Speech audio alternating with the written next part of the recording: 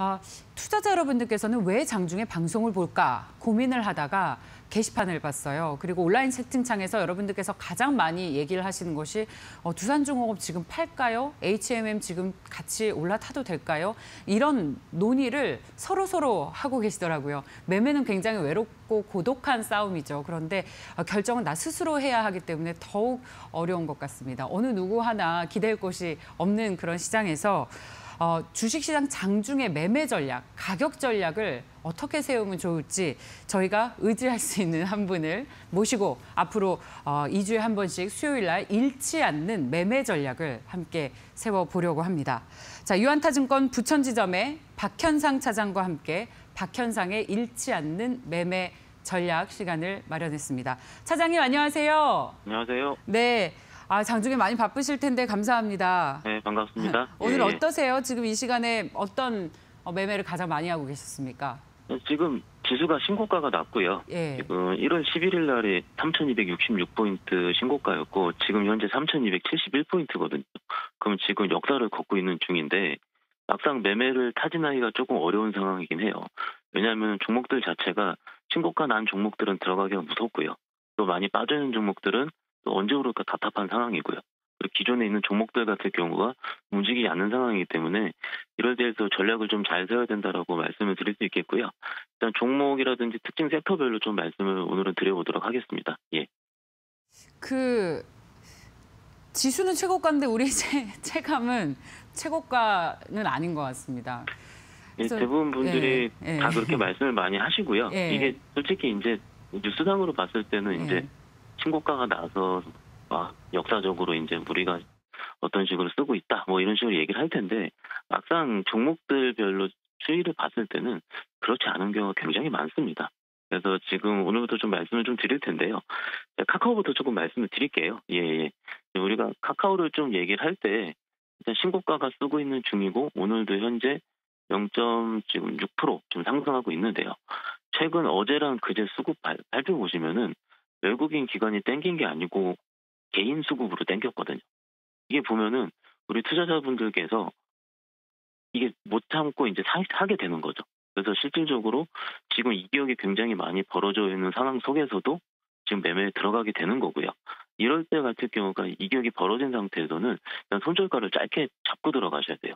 물론 굉장히 좋은 주식입니다. 뭐 컨텐츠 쪽이 최근에 부각이 되면서 해외 진출이 6월부터 가시화가 되고 있는 상황이고 뭐 케이팝이라든지 드라마는 직접 제작하고 있다. 그리고 오늘 실질적으로 증권사에서도 목표가 상향 레포트가 나왔던 상황이고요.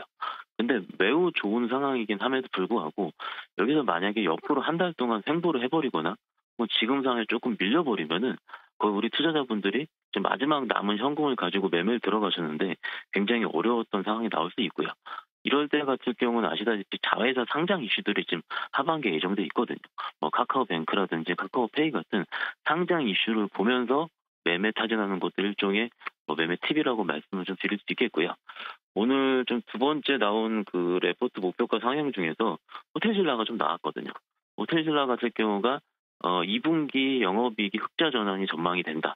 아마도 이제 좀 전에도 애널리스트 저기 이코노미스트 분들께서 말씀하셨는데 그 지금 뭐 기관들이라든지 메이저들의 생각은 2분기 reopening 관련해서 그쪽 섹터 같은 경우는 earning surprise 확률이 매우 높다라는 부분입니다. 호텔신라도 같은 경우라 보시면 될 것 같고요. 2분기가 406억 정도 흑자 전환된 상황이고 지금 오늘은 한 100원 정도 밀리고 있는 상황인데 뭐 자리 자체는 크게 부담이 없는 상황이거든요. 근데 내용이 면세점 부분이 매출이 생각보다 좋아진다. 뭐 다 알고 있었던 내용이고 호텔 레저 부분 역시 회복세를 빨리 보이고 있다. 그러니까 consensus를 크게 상, 상회할 수 있다. 이런 부분이 나오면서 일단 제가 항상 드리는 말씀 같은 경우는 내가 어떤 걸 매매하더라도 내가 버틸 수 있고 부담스럽지 않은 자리에서 매수를 들어가야 된다는 부분으로 항상 말씀을 드릴 수 있겠습니다. 오늘 좀 움직이는 섹터 중에서 좀 말씀드리자면 그 최근에 아시다시피 그 화학주가 굉장히 그 아시다시피 그 업종 peak out 논란으로 굉장히 좀 답답했었다가 어제 지난주부터 조금씩 움직이기 시작을 했고요. 그중에 효성티앤씨라는 종목 자체가 신고가가 나온 상황이에요. 그 오늘 살짝 좀 밀리는 상황이긴 한데요. 스판덱스 쪽 회복이 컨텐츠 수요가 수요 회복과 더불어서 올라가고 있다는 상황이고 2분기 실적 컨센상에 그 하반기 추정치 정도도 지금 계속 상해가 되고 있는 상황입니다. 신- 신고가가 나오고 있는 종목들의 특징 같은 경우는 장중의 변동성이 굉장히 크기 때문에 어, 우리가 지금 이 종목이 좋다라고 말씀을 하시더라도 장중에 한 2, 3% 정도 눌릴 때가 많이 있거든요. 그 눌릴 때 분할로 들어가야지 매매하실 때 부담이 적었던 상황으로 항상 말씀드릴 수 있겠고요. 오늘 특징으로 봤을 때는 그 코오롱인더 가 지금 4.7% 정도 상승하고 있는데요. 어, 간략하게 리포트 요약해드리자면은 패션 회복 쪽이 좀 눈에 띈다라는 부분이에요. 코오롱인더 같은 경우도 굉장히 좋아, 좋고 실적 추정치도 상향되고 있었던 상황인데 눌렸다가 오늘도 다시 스타트하는 모양이거든요. 그러면은 오히려 이런 종목들 위주로 포트를 꾸린다면 부담이 없을 것 같다라고 일단은 말씀드릴 수 있겠고요. 다행히 자동차가 최근에 주도주였는데 한 며칠 그, 그 아산 공장 셧다운 문제로 좀 눌리다가 오늘 상승하는 것만큼 오늘 지수 같은 경우도 크게 부담이 없는 상황이라고 같이 말씀드릴 수 있겠습니다. 지금 거론해 주신 종목들이 투자자분들이 가장 관심 있는 종목들인데 네. 그중에서 호텔신라가 좀 생각보다 내용이 너무 좋은데 생각보다 주가가 많이 못 갔잖아요. 네네. 근데 그 이외에는 지금 다 신고가 경신하고 네네. 특히 효성 TAC 같은 경우에는 차트 보면 아찔합니다. 네. 거의 HMM 주가와 맞먹지 않습니까? 근데 지금 오늘 거론해 주신 그런 기업들 지금 신규로 매수해도 괜찮은 그런 주식들인가요? 어, 좀 전에 말씀을 드리긴 했는데요. 네. 그 효성TNC라든지 카카오 같은 신고가를 쓰면서 성장성을 잡아먹고도 주가에 반영하고 있는 종목들 같은 경우는 솔직히 눌릴 때 매수하는 게 맞아요. 근데 이게 언제 눌리냐 이거죠. 투자자분들 지- 질문하시는 게. 눌리는 것 같은 경우는 두 가지로 나눌 수 있는데 옆으로 가격 조정을 할 수도 있고요. 혹은 기간 조정을 할 그, 그 가격 조정할 수도 있고 시간으로 시간 조정을 할 수도 있어요. 근데 그거에 대한 부분은 시장이 선택을 할 텐데 일단 가장 기본적으로는 크게 오를 때 쫓아잡지만 않으시면 되는 것 같고 그럴 때는 눌릴 때마다 장중 분할 매수가 가장 맞다고 생각하고 있습니다. 제일 무서운 게 고점에서 물리는 건데 네네. 아, 지금 이 기업들의 어떤 장점은 여전히 훼손되지 않고 살아있다. 따라서 가격 전략을 잘 세우면 된다라는 말씀으로 네네. 정리를 할 수 있을 것 같습니다.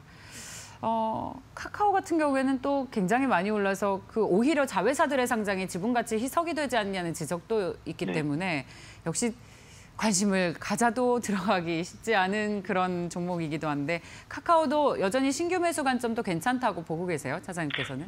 일단 지금 솔직히 용기가 필요한 영역이죠. 네. 예, 대부분 분들이 매매를 정말로 활발하게 하시는 저희식 표현으로 헤비 트레이더라고 얘기를 하거든요. 헤비 트레이더 분들은 들어가요, 지금. 들어가시는데 신규로 우리가 이제 처음 주식을 시작하신 지 1년이 안 된 투자자분들 같은 경우는 지금 구가 같은 경우는 좀 위험한 상황이긴 하고요.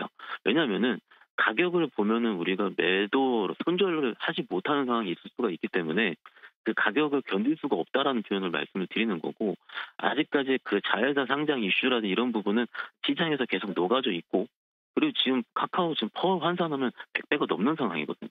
그러니까 어느 누구도 들어가기 없는 어려운 상황임에도 불구하고 최근 이틀 동안에 개인 수급이 크게 땡기고 있다는 거예요. 그러면은 지금 상황을 아 나는 항상 저평가된 우량주만 매매해야지 혹은 자리가 부담스럽지 않은 놈들만 매매해야지 이런 식으로 하기에는 시장 승률을 쫓아가지 못하니까는 이럴 때는 진짜 그 종목들에 대한 비중을 좀 적게 들어가서 그 매매 플레이하는 게 가장 좋다라고 생각하고 있습니다. 네.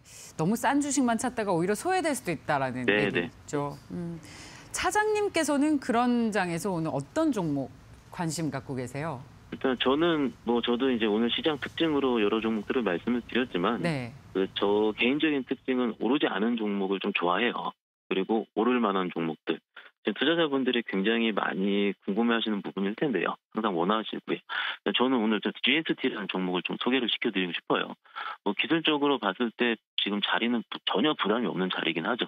어, 근데 반도체 장비 업체라는 부분 다 알고 있었고 이 반도체 장비 업종이 언제 뜰 것 같냐라는 부분이 GST의 매수 포인트가 될 것 같아요.